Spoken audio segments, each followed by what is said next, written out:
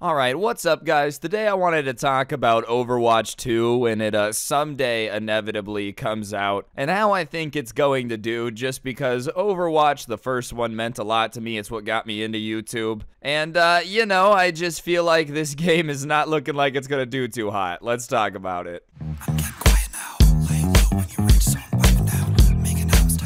Alright, so before we get into it, I just want to clarify that I hope that this video makes me look really stupid in a couple years when Overwatch 2 is the biggest game to ever exist. The first Overwatch was literally what made me want to start making YouTube videos. My first channel that had any success was about Overwatch. So like, I hope that the game does incredible. You know, that being said, there's just some stuff going on that makes me think that Overwatch 2 might be dead on arrival. The first reason I kind of think Overwatch 2 might not be as successful or the first one or as successful as Blizzard's hoping for is the fact that like we still don't have a solid release date. Listen, I understand games get delayed quite often. That being said, if the trend of recent games that release after being delayed is anything to look at, like tends to be delays don't really fix major issues. And as for why there's been so many delays in Overwatch 2, a lot of the reasoning that developers are talking about seem kind of dumb. Overwatch 2 producer claims CEO contributed to delays with months of lost development time.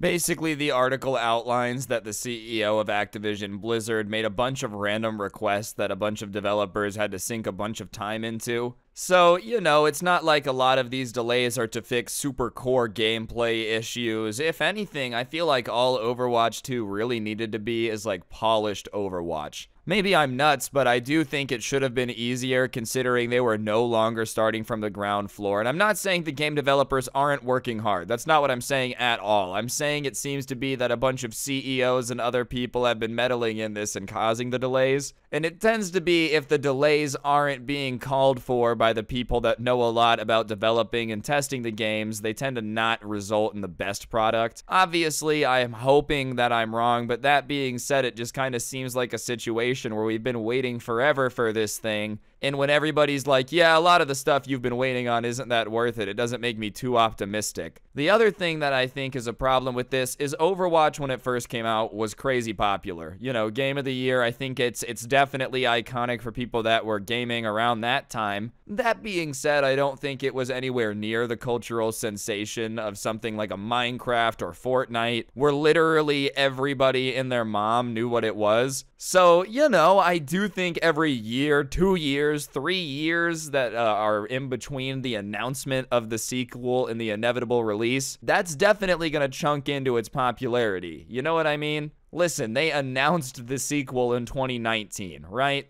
Since then, it's been delay after delay, and it's not necessarily Blizzard's fault that other games that have been delayed haven't been that great. But, you know, it doesn't help boost a bunch of excitement for the game. And if you want to see how that decay of popularity is really playing out, all you have to do is look at the fact that, you know, the Twitch viewership for Overwatch has kind of fallen off a cliff. There was a huge spike around the time that the sequel was announced, and ever since then, it just really has hasn't been doing that hot. Obviously, I know Twitch numbers aren't the gauge of like how well a sequel is going to do, but that being said, it's very evident that, you know, people's palate for Overwatch hasn't necessarily expanded or stayed consistent ever since they announced Overwatch 2 is coming out. If anything, it's literally at the lowest it's ever been. And listen, like I said, I'm not saying people live streaming the game means, oh, the sequel's not going to do well, blah, blah, blah, blah, blah. I'm sure they're going to sell a lot of it. I'm talking about if the internet community itself isn't very excited for the game, doesn't seem to be particularly interested interested in the original anymore, and more and more time is going to pass between the inevitable release of the sequel and this. The logical conclusion is that more people are not going to be paying attention to Overwatch then than there are right now, and it's not like the current trend is on an upward trajectory. And listen, like I said, I hope I'm an idiot. I hope I'm wrong. You know, I'm not going to pre-order Overwatch 2 because I've been burned enough with pre-orders. But yeah, if it's a good game, I'm not going to be like afraid to spend money on it and buy it. I just think in its current situation, I'm not necessarily sure if the hype around it that they could have had at one point is like going to be as good as it could have been. Because I mean, let's say it releases like 2023. Like we don't have a, a date yet, right? The game came out in like May of 2016 You know what I'm saying? Like, if we're honest here and we take a step back, six years in between releases is a long time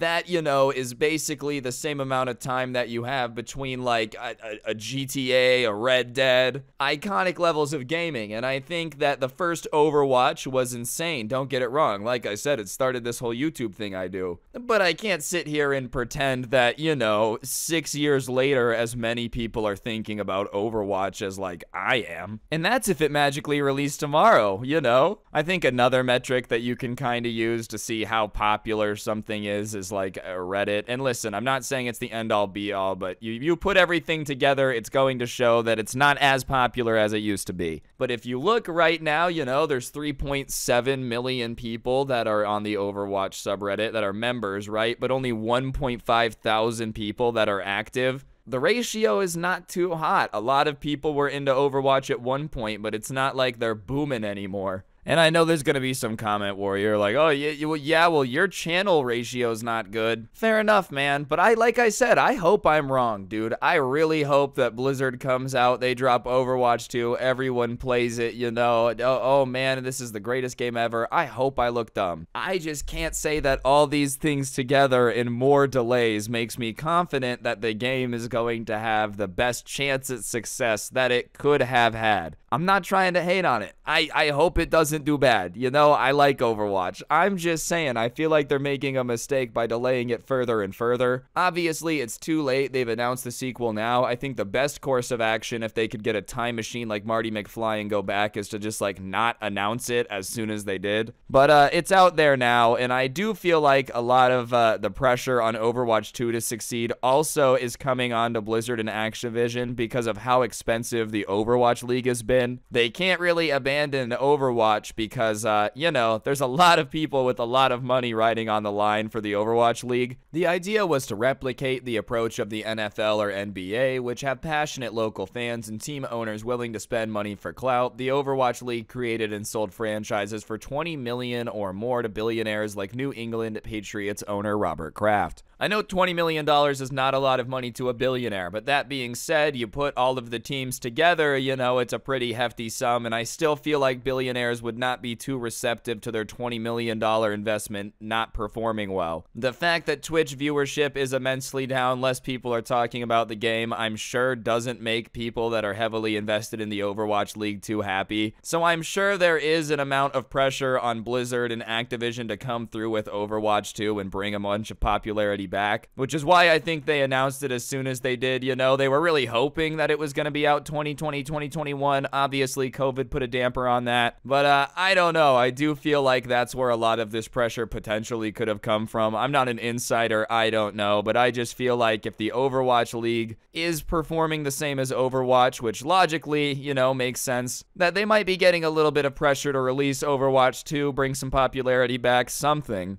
Activision doesn't break out Overwatch League revenue. It's in a category of revenue labeled Other that includes the Call of Duty League in a European distribution business. Revenue from those sources grew 6% to 687 million last year. I'm not going to sit here and say 687 million dollars is not a crap ton of money, right? But if you consider the fact that that's Call of Duty League, a European distribution business, and the Overwatch League, it's not that much. And let me explain, right? 687 million. As it says, they don't really break it out, so these are completely hypothetical percentages here, but we're going to use 687 million. Let's say in a hypothetical world that Call of Duty League, this European distribution business, and Overwatch League each take up, you know, a third of this 687 million. For all I know, it could be all 687 million are from Overwatch League. I don't know. Very unlikely. There's probably a reason they group these together, right? But let's say that they're a third, just for this example. That would mean that Overwatch League is bringing in $226 million a year. Once again, not too shabby, quite a hefty sum. But if you consider the fact that everybody paid $20 million to get a team, hypothetically,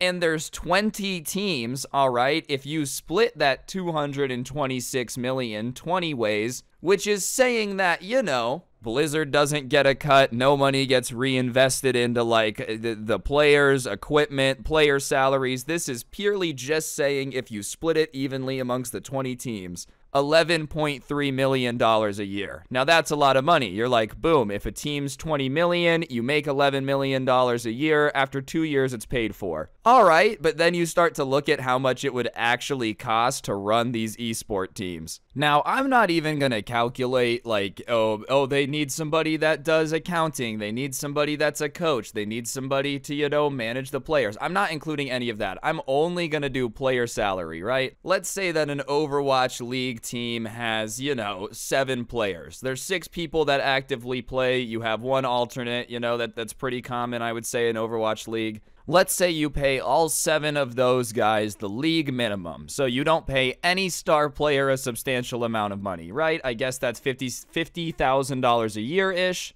So that breaks down to about 350,000. You're like, "Well, Ryan, come on. It was 11.3 million. Now I only have 11 million dollars left. I'll take that." True, true, you do have 11 million left, but you also forgot that the government is going to come in and want to take this little thing called taxes, you know? And uh, I think the corporate tax rate is about 21%. So 21% of the 11 million you have left puts you at 9 million. Remember, we've only just paid player salaries, we've only paid taxes. Now you're also going to have to consider the fact that, like, not this season, but for the first seasons of the Overwatch League, you were having to fly them around the world to play these games. I think they used to play in the town. On top of that, you're going to have to pay, like, a lot of them have a team doctor, a lot of them have a team psychiatrist, a lot of them have a staff in charge of making them meals, they have a team house where they live. All these things start to add up, right? And listen, you're still like, whatever. Hypothetically, let's say all that only costs an additional 2 million. You walk away with 7 million a year, not too shabby. However, you also have to deal with all of that. And for the first 3 years of your investment, you know, you're not actually making money because you had to pay 20 million to get the franchise. That 20 million isn't necessarily including any of the costs we just talked about. All that comes out of pocket. So, you know, you're kind of in a situation where sure, you might be making a couple million dollars a year, let's say 6 7 million, but you're talking about billionaires to which 6 7 million really isn't that much money. And on top of it, if they would have taken that 20 million from 2017 and parked it in the stock market, they would have blown out,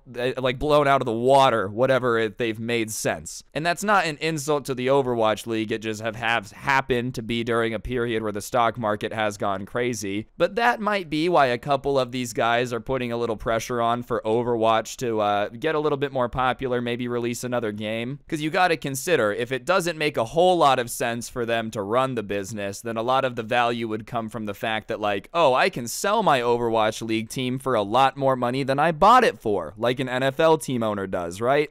But if you believe what I believe, which you don't have to, you know, which is that Overwatch is becoming less popular, less people are talking about it, less people are playing it, you know, I it just doesn't seem to be getting more popular, then I don't really know how the value of your franchise would go up if less people are watching the sport. So it's kind of a situation where these guys are like, look, all right, it's kind of a lot of work to make this money that I'm making. On top of it, you're kind of underperforming what I could be getting somewhere else for like no work. So we have to get this kind of rolling so that I start to make more money. The franchise starts to increase in value. And that might have put a lot of pressure on Activision and Blizzard to kind of rush the announcement. You know, that's just a game theory. I'm not an insider, I'm not an expert. That's just uh, a little bit of my thoughts about it. Anyways, guys, like I I said, uh, I really hope I'm wrong. I hope Overwatch 2 blows me out of the water, blows everyone's expectations out of the water, goes down as the greatest game of all time. I'm just not feeling too optimistic. Let me know in the comment section down below what you guys thought. If you did enjoy, you should press the like button, comment down below, and subscribe. I'd really appreciate it. And while you're down there doing all that, turn on notifications. I mean, you might as well. I try to post every day, and I'd really appreciate y'all subscribing. If you want to help me out more, I'll go ahead and put a link to the intro song down below, along with a link to my podcast, The Scuffed Cast, or, of course, you could use code SCRUBBY at G Fuel checkout. It's a great way to get a discount on G Fuel, the best energy drink for gamers, and help me out at the same time. So, like I said, use code SCRUBBY And the last link you're going to find down there in the bottom of the description is a link to my merch store. So go ahead, head on over there, get yourself a t shirt. I would very much appreciate it. You know, not to be too biased or anything, but it's actually the coolest merch to ever exist. And if you get it, you know, no promises, but potentially there's a genie inside that'll give you three wishes. No guarantees, it's probably not going to happen. But uh, yeah, on that note, guys, that'll do it. Don't get anyone pregnant. If you do, make sure they're hot. And I'll see you guys next time. I'm out. Peace.